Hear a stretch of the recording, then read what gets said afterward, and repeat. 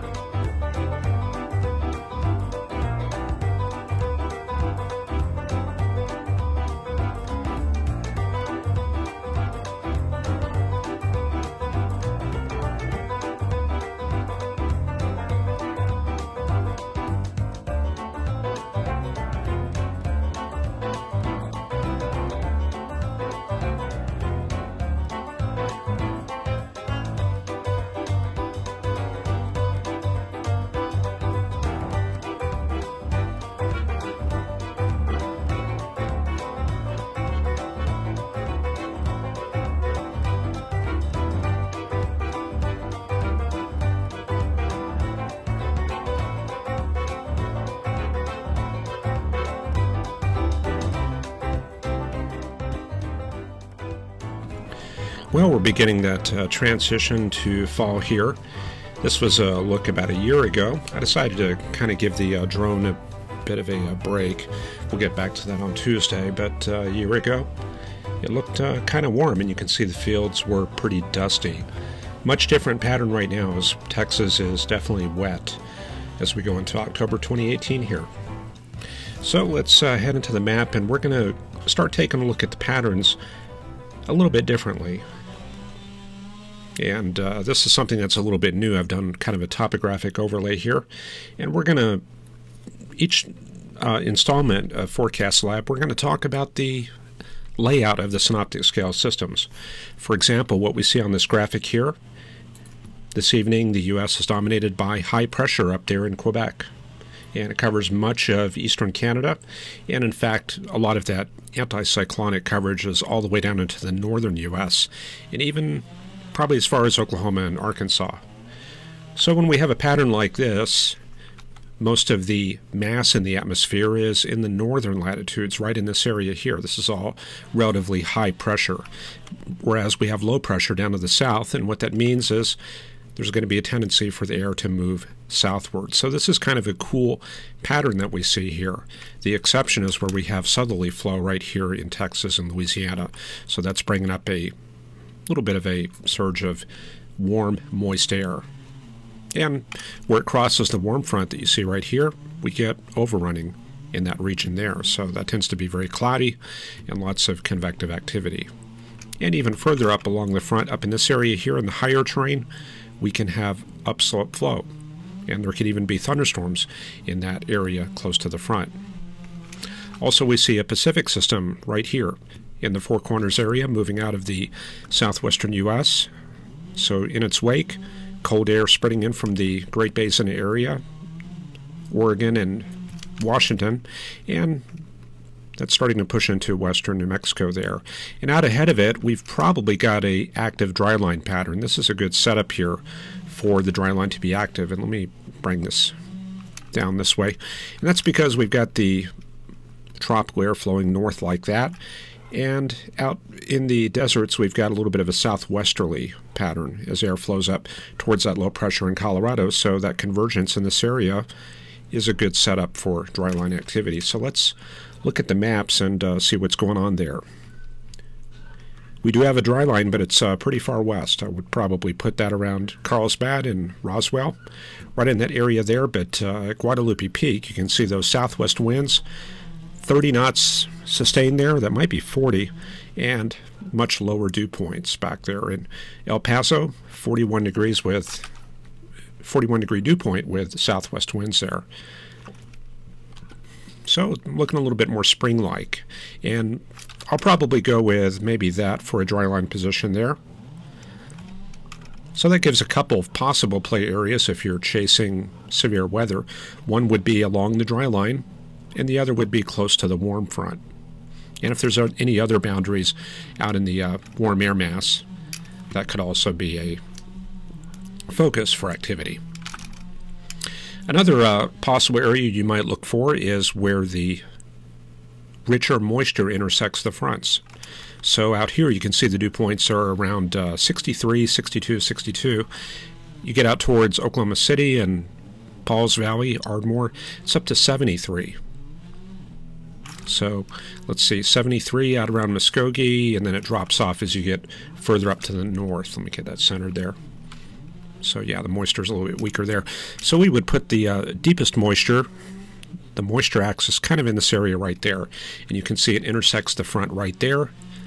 So that would be a favorite area for severe weather. So there's that. There's the uh, dry line further out to the west, and then there's the moist axis and front intersection. So that's a third area that you could possibly watch there. And does look like there's maybe a little hint of maybe a mesolow in this area.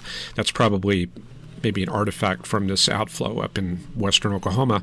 But if I'm seeing the winds kind of converging in this area, that might be a sign that maybe there's a mesolow forming along the warm front. All right, so that's kind of a look at uh, what's going on this afternoon. We got some things to look at. Let's uh, head into the vorticity and uh, thickness charts. Let's go straight into that. Let me bring that up here. Okay. I'm going to go right over to that thickness chart and just kind of segue into that. So there's the current pattern. So we're going to go ahead and, and uh, pin down where that front is. That looks like the uh, Canadian front right in that area there. And I think uh, back in here is the Pacific front. Looks like that may just be passing El Paso there. And uh, somewhere in between a dry line. Okay, so we can see that the Pacific front is being driven by some of the Pacific air coming in from the northwest U.S., and then the uh, front in the central U.S. being driven by this Great Lakes high right there. And looks like a third front coming down from Saskatchewan, Alberta, and Manitoba right in that area there. So that's a reinforcing shot of cold air that's on its way south and that's being driven by this 1035 millibar high. So the pressures involved on all these high pressure regions, not that high, only about 1032, 1035. But uh, we're going to see these highs get stronger as we go into the next week because we are transitioning our weather pattern. And the Hudson Bay Vortex looks like that's still active up there in the northern Canadian region. Here's the 500 millibar heights and vorticity. This doesn't exactly intersect the uh, jet stream, but we can kind of infer where that is. And it looks like that runs from the west coast of Canada, straight down south through California, and around into the Four Corners area like that, and then up into Ontario. So the pattern is kind of merid try again, mer meridional.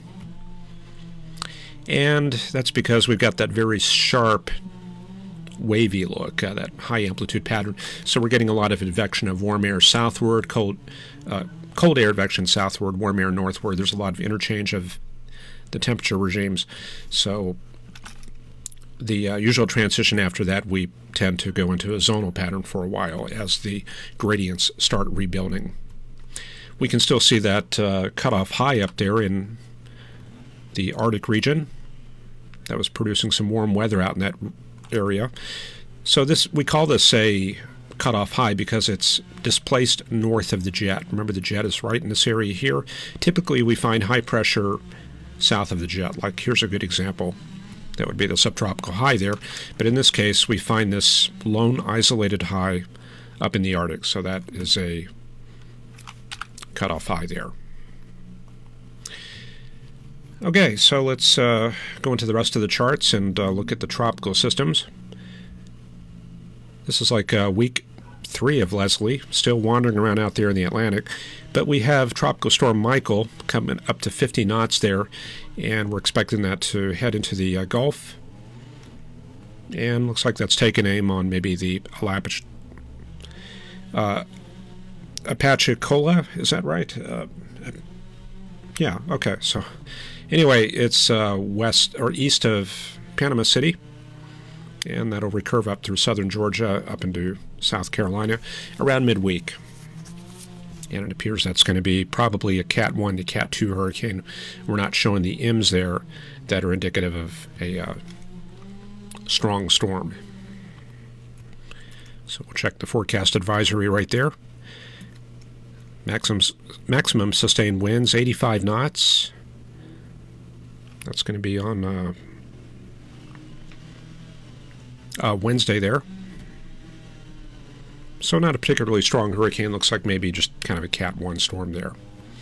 And then we got Sergio still out there. Used to be a, I think, a Cat 4 storm. But that is going to be recurving soon and heading into Baja California around Friday. So that'll probably dump a lot of moisture into the uh, southern Rockies region. Storm Prediction Center showing a lot of uh, convective activity across the central U.S., and we'll just kind of break that down on their page there. Slight risk out, uh, looks like that's covering that dry line area right there. And you can see that the marginal risk kind of follows that warm front all the way from northern Missouri down to the Texas Panhandle. However, there's only this severe thunderstorm watch out for the Texas New Mexico border and we'll just take a quick look at the storm reports. We did have a, a tornado warning out earlier down uh, southwest of Amarillo, down around the. Uh, trying to remember the name of the towns. Anyway, yeah, one little tornado report down there around the Ardmore area. Let me get some details on that real quick. Yeah, Murray, Oklahoma, that's in the Ardmore area. That was uh, at 2230Z. So it was around 5:30 this afternoon, and then the others were out around Dimmitt, Texas, and that was around uh, 2:30 this afternoon.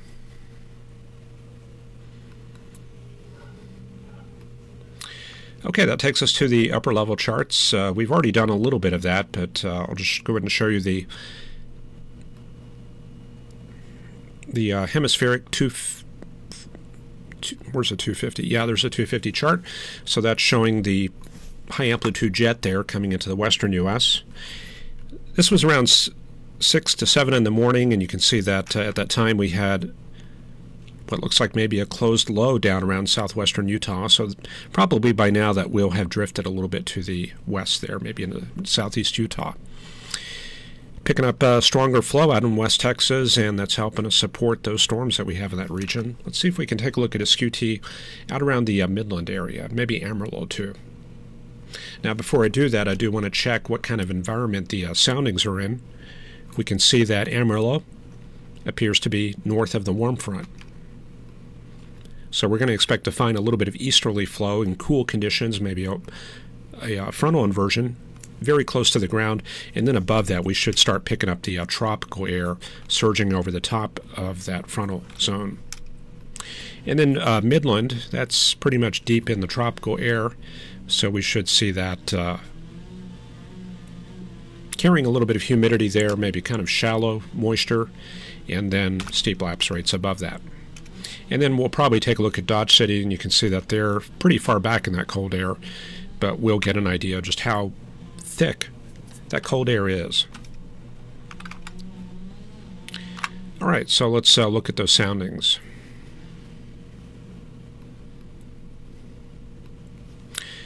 All right, we're going to start out with, uh, let's start out with Midland, way down to the south. Okay, this was uh, this morning, and we've got maybe uh, two or 3,000 feet of moisture in the low levels, and that looks like uh, mid to upper 60s dew points, and then that falls off into 50s dew points above that. And looks like the uh, capping inversion is a little bit weak. We're only seeing temperatures at 700 millibars of about 9 Celsius, which is kind of borderline uh, marginal cap. And then above that looks like some pretty good lapse rates.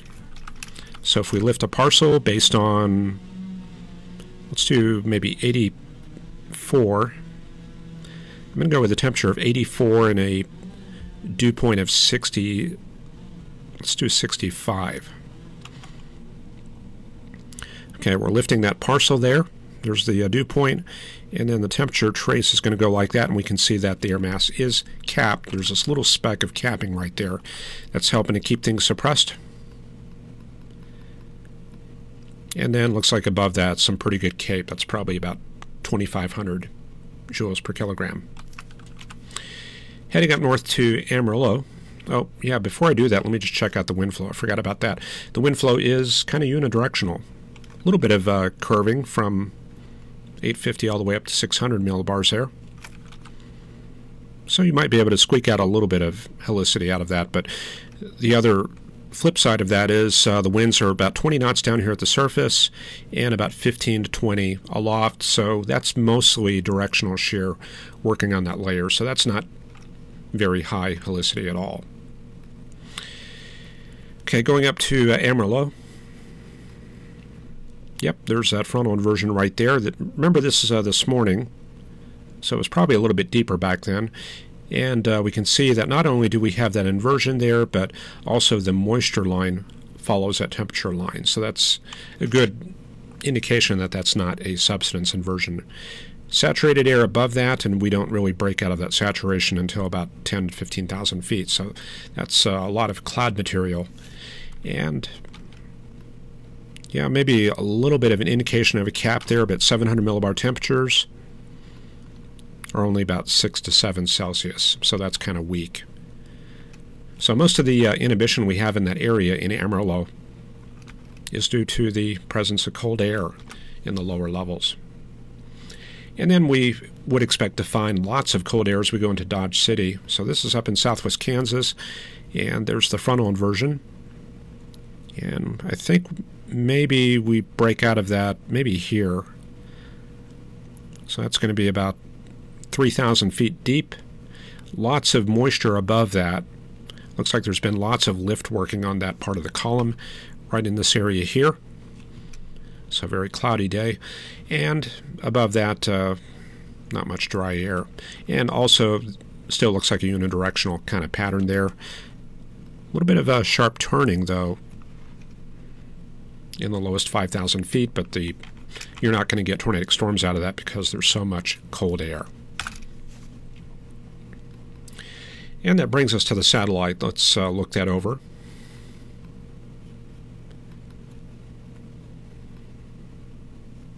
Run that back earlier today. And this is a visible imagery we're looking at here. So we see all this. This is all the uh, tropical moisture coming north and a little bit of overrunning in that area. And then back out here, we've got the upper level low. So upper level low right there.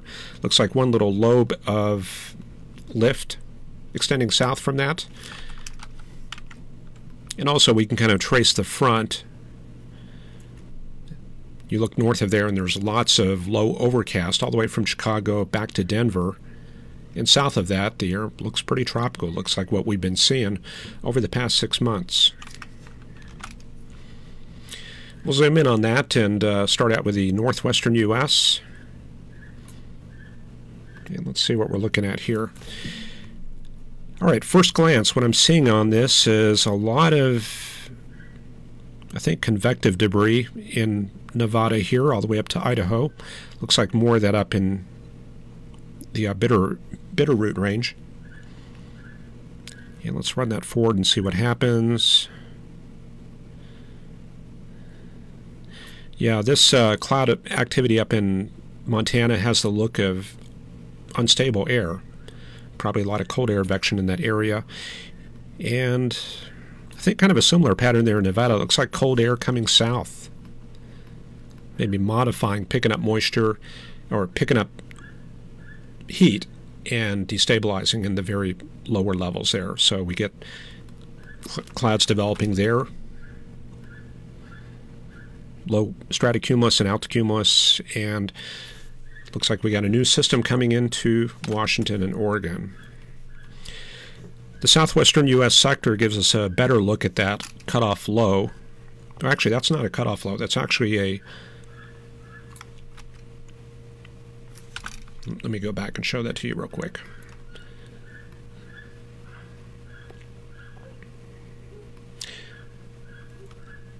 There we go. Um, actually, if we go down to 500, we can pick up a little bit of closure on that low right there. However, that is uh, north of the polar front jet, so we're not going to call that a cutoff low. That's something we would find out in this area here. So this is more of a occlusion. This is an old baroclinic system that has uh, occluded and uh, also a lot of cold air wrapping into that and that gives us those height falls in that area. So that's what we're seeing there on the uh, satellite and I'll bring that up here and we'll take a look at that. And especially if we animate that, you can see the rotation. There it is right there. It looks like a center down around the Bryce Canyon area. Get that centered. Okay. And then further out to the west, as we get the heating going on during the day, I think that helps the front take definition. That looks like the uh, Pacific front right there. And we run that a little bit further forward.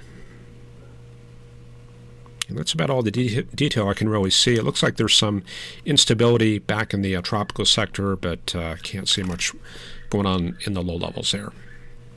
Okay, the northern plains, big cloud shield due to all the cold air coming southward in the low levels. So the flow is doing something like that there in the low levels, and there's probably a bit of overrunning coming up from the south over the top of that air mass. Definitely in the upper levels, we can see some streaks of cirrus going like that, and that's the jet stream winds far above the uh, frontal inversion. That's just that's cloud material that would be there either way, even if the cold air wasn't coming south. Then in Texas, yep, kind of a stormy pattern. You can see the storms breaking out there around Clovis and up to Dimmitt. We catch that one tornadic storm right there.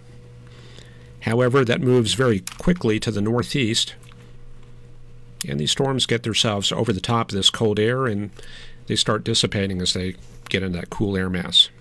So if you're actually chasing, you would kind of head down and kind of stay probably south of I-40 in this kind of situation. And I've got some close-up shots we can take a look at.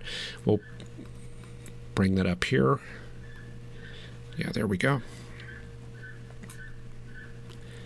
So this is a uh, zoom on Texas there. And you'll be able to see the storms coming together right there around Clovis. This is around uh, 1 o'clock. And there's the first towers going up right there. And there they go. About 15 minutes later. And they've got uh, kind of a very strongly sheared look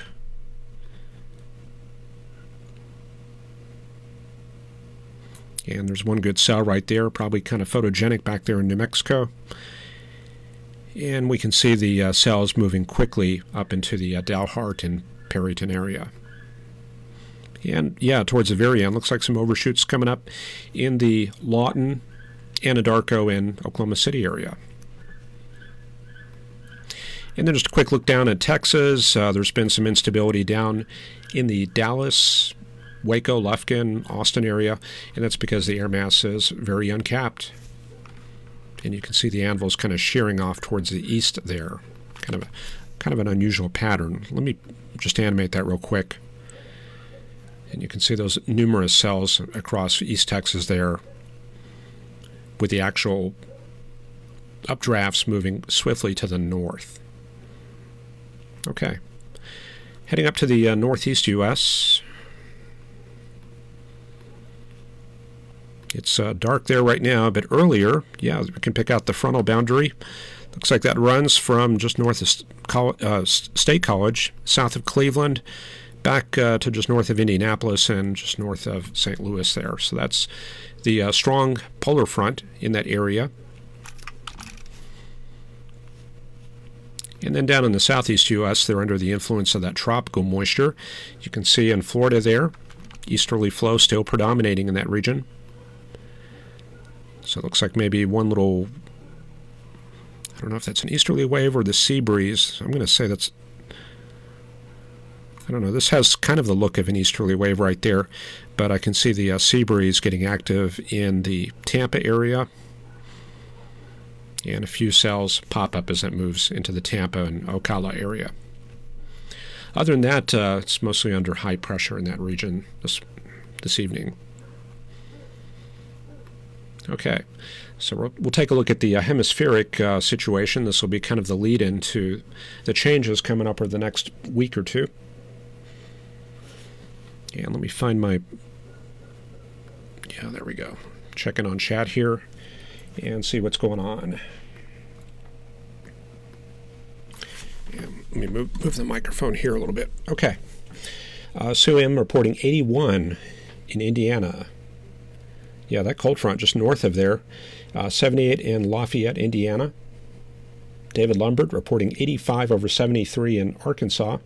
However, Fred Reamer up there in Grand Forks, 41 over 36. Got uh, Mark here, Portsmouth, New Hampshire. I want to say there's a, a Navy base there if I'm not mistaken. Uh, 74 degrees and down to 59 at this time. Burl H, 50s in Iowa. Getting some of that overrunning. Erica Baker in Coffeyville, Kansas, 73 over 71, tornado warning, southwest of Ponca City. Got JT here reporting 54 and 100% humidity. Adam Davis, 89 degrees here in Indianapolis. Ryan Toomey's there in Florida joining us. All eyes on the Gulf of Mexico this evening. Yeah, we'll, we'll be taking a look at that hurricane on uh, Tuesday, on Tuesday's webcast. So you'll want to tune in for that. Carl Burkhoff is here, and uh, Mike Estwick, 44. Light rain in Denver. Got Sam Hooker there, 54 in Federal Way, Washington freeze watches in Colorado. And Fred Reamer in North Dakota looking for snow possible tonight.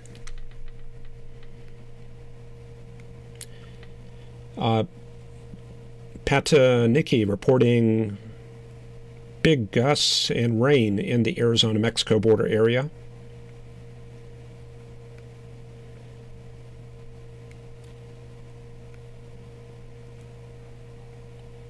Um, yeah, I'll try to take a look at Arizona there. We, it's kind of difficult for me to do spot forecast because of the pace that we work through on this weathercast. But if I hit uh, Arizona there on the uh, chart sequence, we'll try to take a look at that there. And uh, let's see here. Okay, so let's uh, head into that forecast. So this is uh, the hemispheric chart. You can see it's uh, we've got kind of a window on North America. And this kind of gives us the master solution for weather over the next uh, week or so. So let me get my windows going. Okay. So starting out, uh, we've got uh, that big trough out over Arizona and Utah. So this would be the chart here for right now. Looks like uh, that's centered around uh, Winslow and Flagstaff. And yeah, jet max rotating around the south part of that trough. And let's see what's going to happen over the next few days. For yeah, the trough hangs around the Four Corners area. However, you can see most of the energy shifts to the forward side of that trough. The trough is located right here, and you can see this uh, colorization showing the stronger flow and uh, some of the higher vorticity.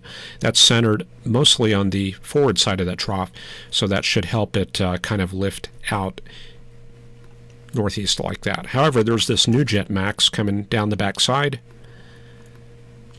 so we should get another round of uh, deepening of that trough. And here comes our hurricane coming out into the Gulf, and that'll be kind of moving swiftly north into uh, Florida there. So going into Tuesday and Wednesday, GFS forecasting that hurricane to make landfall, going a little bit west of the NHC guidance into the uh, into the what's the name of that city? Um, good grief! Yeah, it's kind of dropped my mind. Way out there in the uh, western Florida Panhandle there. And uh, right in this area here in Arizona, you can see what looks like a wave kind of lifting out. So this will be the next shot of energy moving out into Texas on Wednesday. So there it is Wednesday morning. And then by afternoon, coming into the uh, Dallas and Florida or Fort Smith area. So it looks like uh, that may have a shot of uh, producing thunderstorms maybe in this area here on Wednesday.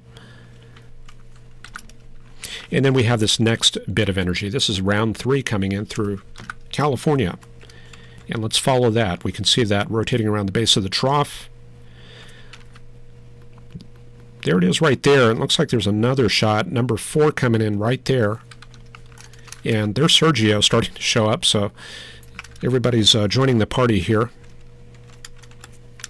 So that next uh, wave really deepens there across the Mojave Desert. Sergio's remains uh, kind of fall into that uh, base of the trough right there. So it looks kind of wet there for Arizona and New Mexico. So yeah, that's what you're going to be seeing there along the I, am assuming you're around uh, Douglas or Nogales. Uh, check that viewer name. That's one of our new uh, viewers there, Pataniki. Okay, so I'm assuming you're kind of in that area there. So yeah, you're going to have the remains of uh, Sergio. Looks like maybe around Friday, and then this next system coming in on uh, Saturday there. So yeah, it's possible you might get some uh, it's probably a little bit early for snow in the higher elevations, but uh, certainly some cold rain is possible. Okay, so the whole system will be uh, lifting out around the weekend. This is uh, going to be Saturday night right there. So it looks like uh, maybe kind of wet there in West Texas. The flow looks like it's getting a little bit more meridional. Wow, I actually was able to pronounce that word there.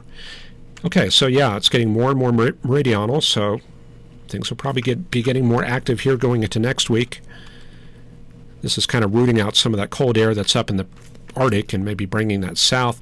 Meanwhile, the other side of that is uh, the amplification down to the southern latitudes may pick up some moisture, getting that pineapple express going. So we're going to watch for that around Monday or Tuesday, maybe affecting the west coast there. It gets very troughy out there in the Gulf of Alaska and northern uh, Pacific uh, next week. Now this is a cutoff low right there around Arizona because that's south of the uh, polar front jet. There's another cutoff low right there. So these will be kind of wandering loosely with the prevailing westerlies right there. So yeah, that does look uh, kind of wet there for the southwestern U.S. Here comes some energy coming towards the uh, west coast there for Tuesday. A couple jet maxes coming around the base of that trough, so that should dig that trough on in. And here comes this next one for the 20th. So I guess all I can say is we've got kind of an active uh, couple weeks coming up here. Lots of troughing there and uh, as we get to the very end of the pattern, very strong northwesterly flow. So it looks uh, cold, at least for the eastern U.S., towards the middle and end of October. And just to give you an illustration about how the patterns are going to change, let me show you the uh, precipitable water chart. so at the very top there, you're going to see the uh, time there, the time and the date. So this is uh, Monday at 0Z.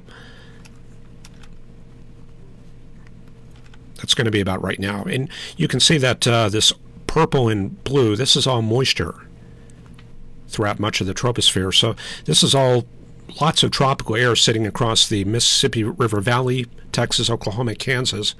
And I'm going to run this through quickly, and you can see the changes that'll be going on. So you can see we're bringing up moisture. Here comes that hurricane showing up there in Florida. However, there's this uh, west to east change where we have dry air sweeping through the Great Plains. Hurricane moves up into Georgia, and in its wake, we've got uh, cool, dry air spilling into much of the uh, central U.S. And look at that push the moisture out. So that's sweeping the moisture away, and in its wake, big uh, polar high coming into the Dakotas there. And you can see we get some moisture trying to come back up, a little bit of return moisture for Friday. And there's the that other hurricane remnants right there. I think that's Sergio coming up in Arizona for Saturday. However, look at that. It gets displaced by another outbreak of cold air about a week from now. So that pushes that out into the Gulf. All the tropical air gets displaced down into the southern Gulf of Mexico. We get a couple of uh, return moisture phases right there, but overall, looks like the cold air is winning the battle. And going into the 20th and 21st, much, much different pattern there. So, yeah, see that right there towards the end?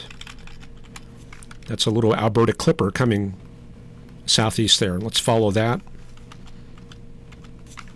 Very fast moving there. Probably some showers likely for the Midwest.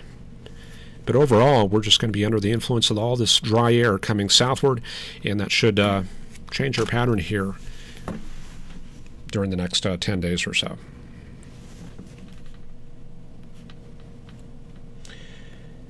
Okay, yeah, let's see here. Uh, direct weather. I appreciate uh, your comments about the books. Uh, let me just put up that link there. Um, if you don't want to send a Patreon donation, you're welcome to. Um, well, there's the Patreon donation there, but you can also go to weathergraphics.com. I need to get a slide for that, but uh, weathergraphics.com, that's got my forecasting books and uh, software, and one of them I'm, is the one I'm using right here digital atmosphere. So that's making these maps here.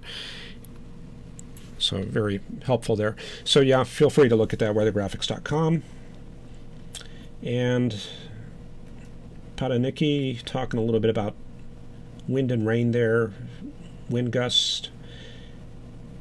Okay, very good. Glad that helped you. Uh, Ryan Toomey's another rain event for the Carolinas. Yeah, I got that.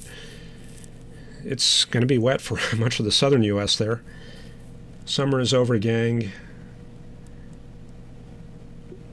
And Carl Burkhoff mentioning pivotalweather.com. All right, very good. All right, well, that'll probably do it for today. I hope you enjoyed the webcast.